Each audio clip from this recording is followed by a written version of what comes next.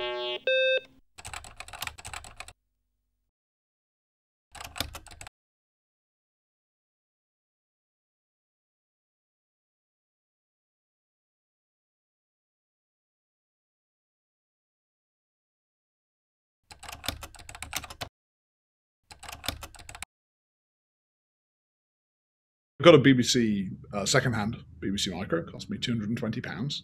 Um, it was very beaten up, so it had been a Model A. So one of the interesting things about the BBC, and this is something we've inherited at Raspberry Pi, um, was uh, they had the Model A and Model B. The Model A was the £289 machine, the Model B, the 399 machine.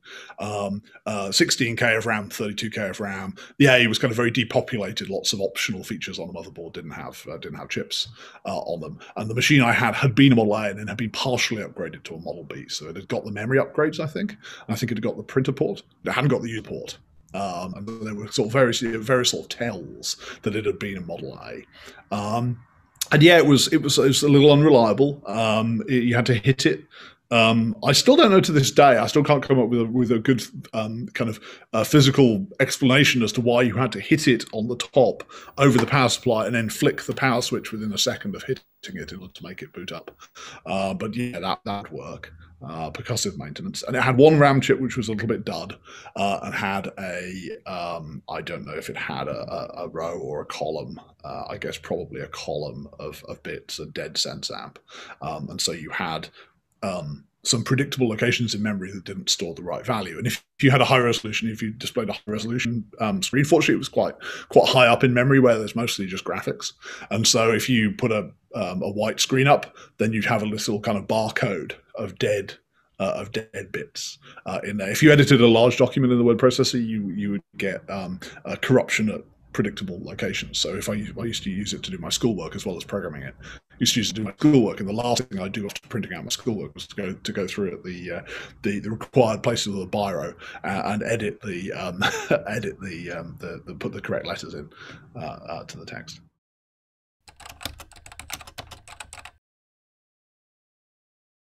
I guess I was about nine years old. And yeah, it was just pure competitiveness, really. It was I had a friend who could write computer programs, and I wanted to. I didn't want. I didn't want a friend to be able to do a thing I couldn't do. So, uh, and I'm always very motivated by writing games. Even to this day, I'm very motivated by writing computer games. Um, I was. Uh, I, I wrote games all the way through my childhood. Um, I started a games company, was at university, sold that, started another games company. Um, kind of realized the games industry isn't really something I want to do professionally. It's a very it's a very tough industry. It was a tough industry then. I think it's become a tougher industry now. Um, but and so I ended up doing silicon stuff mostly as an adult. But for recreation, I still write computer games a lot. Um, uh, and so that was always that's always been a big motivator for me. And the interesting thing, of course, in the era was that commercial computer games were pretty simple. Um, and so as a child, you could make a thing quite quickly, which was you know you're not these days you're not going to write call you're not going to write Call of Duty or Grand Theft Auto, right? Um, but as a child, then you could write something which was not that much worse than what you could go out and pay money for in the shops.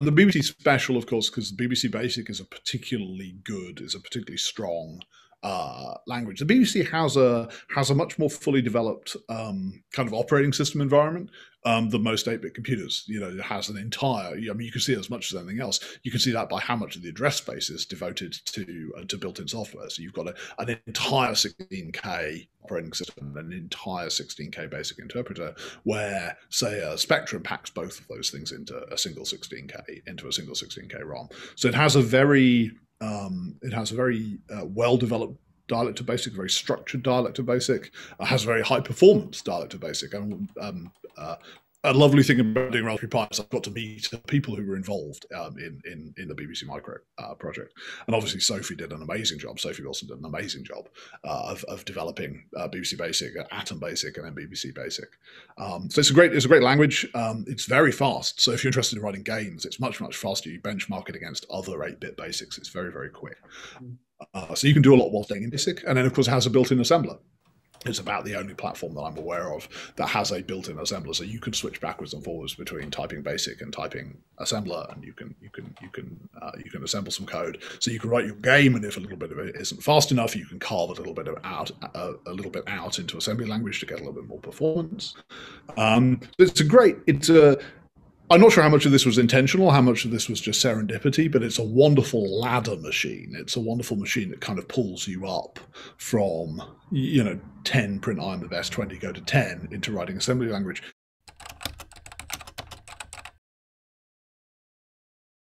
The BBC Micro gave me my life, gave me my adult life, gave me my career. Um, I can do the things I can do because of the BBC Micro.